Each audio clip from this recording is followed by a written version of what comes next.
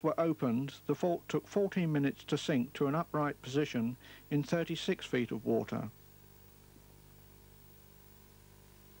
The fourth fort, HM Fort Knockjohn, was towed down river on August 1, 1942, leaving Tilbury at 5.40 in the early morning. It on was towed down river on August 1, 1942, leaving Tilbury at 5.40 in the early morning. It arrived at the grounding site at 1pm, but had to await the arrival of the naval ship HMS Campbell, which had on board the First Sea Lord, Admiral Fraser, Lord Louis Mountbatten and General Pile, who were to act as observers. With the arrival of the ship at 3 p.m., the order was relayed for the pontoon flood valves to be opened, and this action was taken at 3.32 p.m. It took 14 minutes for the fort to be grounded in 40 feet of water. Again, by good fortune, a cinefilm taken of the Knockjohn sinking at the time has survived, and this illustrates how a correct sinking should take place.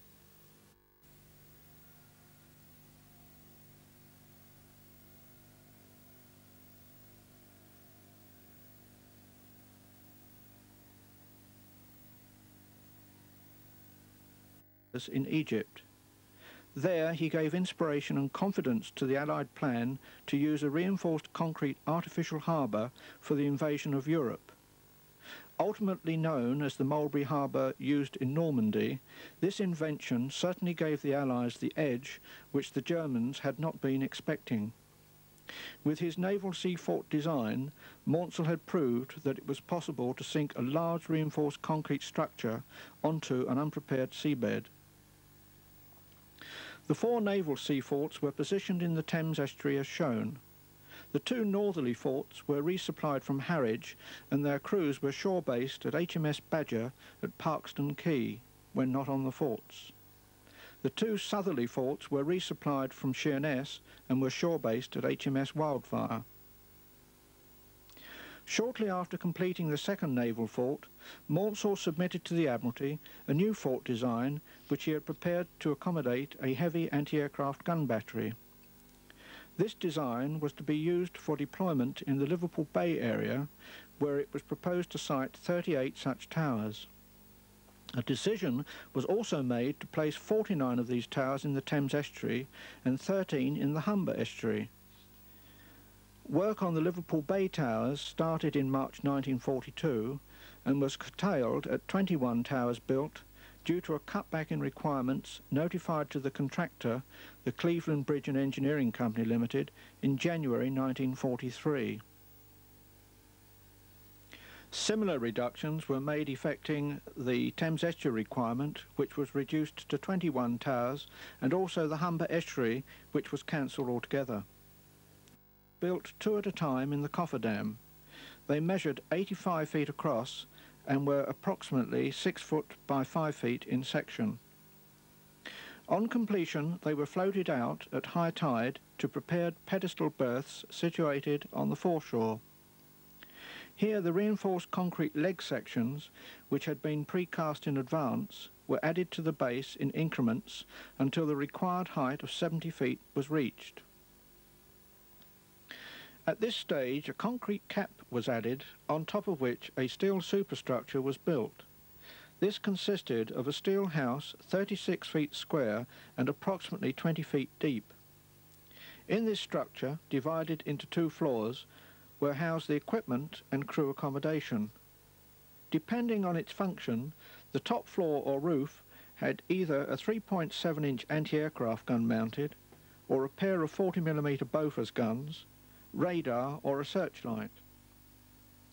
There were seven towers to a complete fort, comprising four with 3.7 inch guns, one with two Bofors guns, one with radar and one with a searchlight.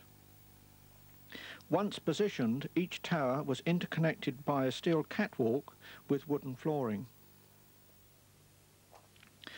For towing down river to their grounding sites, it was necessary to position each tower to the underside of two barges, which were known as camels.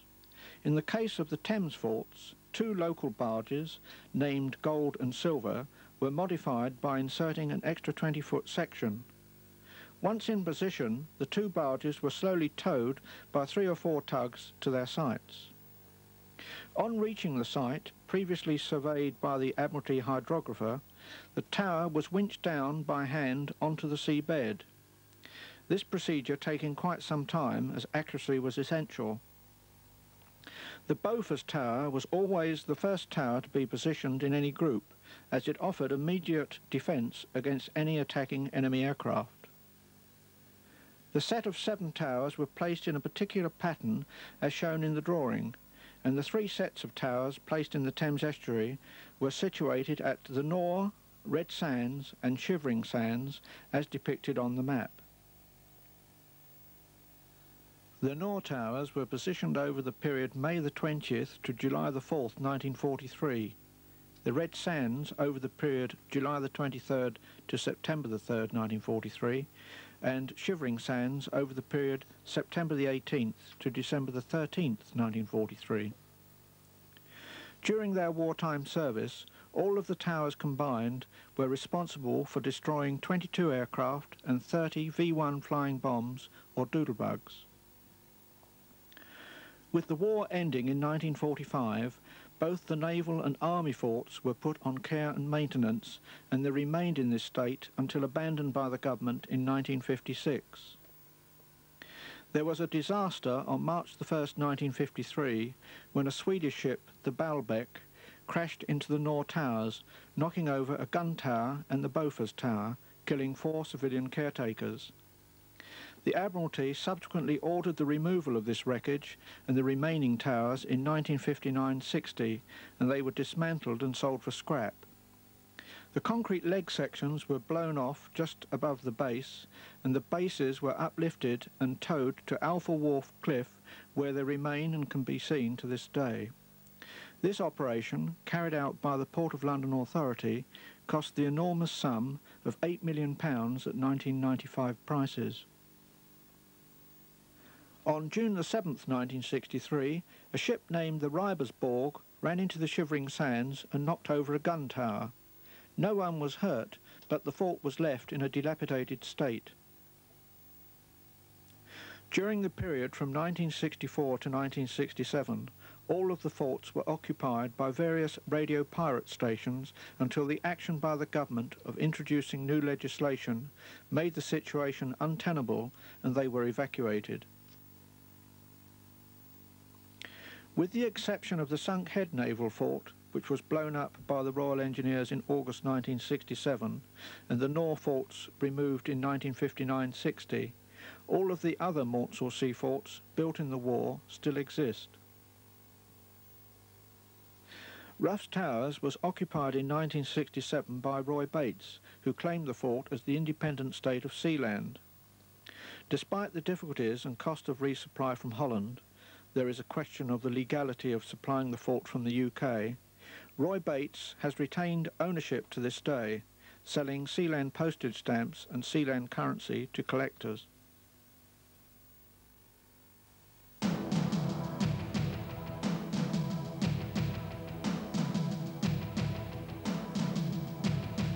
Today, the forts remain defiant in the estuary.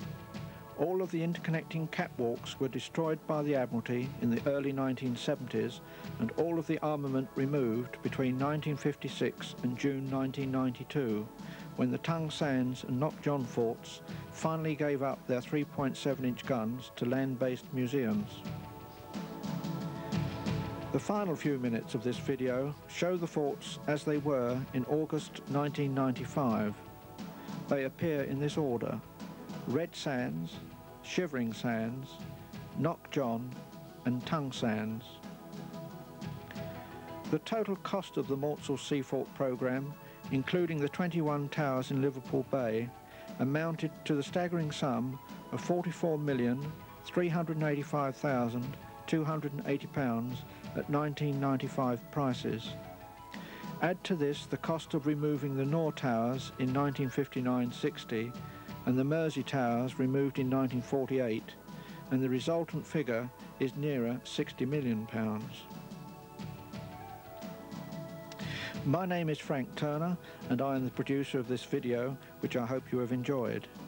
I have over the past two years carefully researched the history of the Maunsell Sea Forts, which has culminated in my writing of two full-length books. The Maunsell Sea Forts Part 1, the World War II Naval Sea Forts of the Thames Estuary, and the Maunsell Sea Forts Part 2, the World War II Army Sea Forts of the Thames and Mersey estuaries. In addition, there are a number of small A5 booklets describing previously classified secret projects that Guy Maunsell submitted to the government during the war. If you would like further particulars of any of these publications, why not contact me?